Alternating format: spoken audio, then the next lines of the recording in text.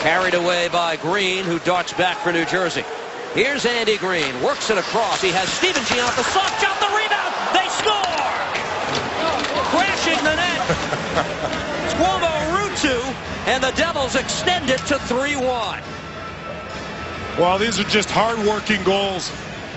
The last couple of them, even I know Josefson on shorthanded gets a breakaway, but does a good job in there. Stephen Gionta just gets the puck toward the net on good work by Andy Greene through the neutral zone. Right there, Gionta takes the shot. Andy Greene goes to the net. And Ruutu, Johnny on the spot, puts it into the empty net.